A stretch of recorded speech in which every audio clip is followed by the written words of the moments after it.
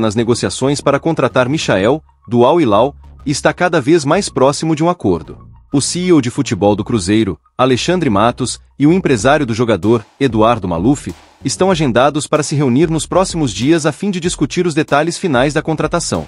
Nas conversas iniciais, o Clube Celeste já conseguiu acertar as bases salariais com Michael, mas ainda restam definir as condições para o pagamento das luvas contratuais, essas negociações têm grandes chances de serem concluídas até o final da semana.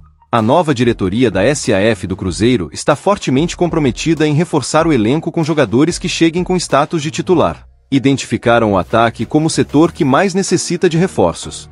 Michael, um atacante de 28 anos, vem atuando no Al Hilal desde a temporada 2021-2022 e é visto como uma peça-chave para fortalecer o time, a situação de Michael no Al Hilal parece favorável para sua saída, já que o clube saudita precisa abrir vagas para estrangeiros no elenco. Essa necessidade pode facilitar a rescisão do contrato do jogador, que é válido até janeiro de 2025.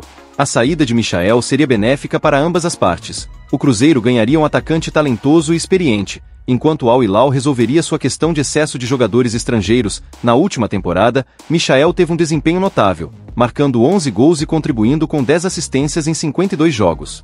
Desde sua chegada ao Al Hilal, ele já disputou 108 partidas, somando 22 gols e 22 assistências, o que demonstra sua importância e consistência em campo.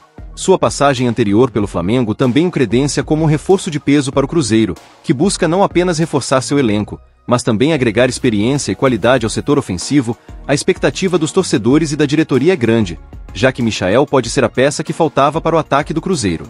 Com a conclusão dessa contratação, o time celeste espera melhorar seu desempenho e alcançar melhores resultados nas competições em que participa. A chegada de Michael seria um sinal claro de que o Cruzeiro está disposto a investir pesado para voltar ao cenário de destaque no futebol brasileiro e internacional. Já se inscreva no canal, deixe o like e ative o sino das notificações para não perder nenhuma novidade do Cruzeiro Nação Celeste.